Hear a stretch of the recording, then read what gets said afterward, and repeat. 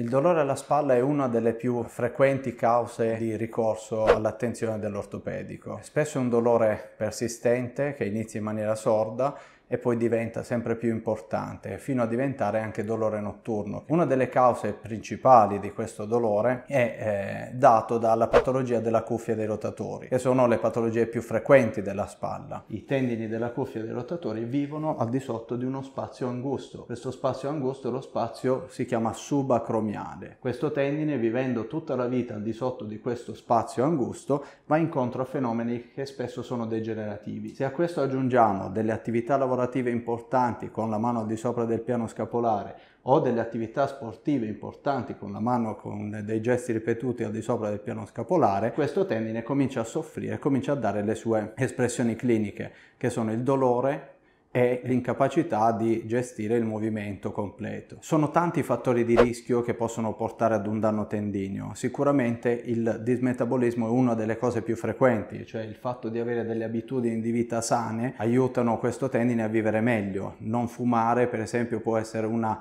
indicazione importante per evitare i danni tendinei ma anche eh, l'utilizzo di una corretta postura, l'utilizzo di un mouse, di una posizione alla scrivania continua in maniera errata può condizionare un contatto preternaturale fra il tendine e l'osso che si chiama acromion e dare dei danni nel tempo a questo tendine.